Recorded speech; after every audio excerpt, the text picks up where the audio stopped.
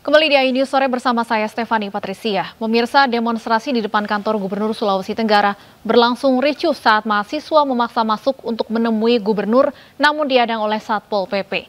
Dalam aksinya mahasiswa menuntut adanya aktivitas tambang di Konawe Kepulauan.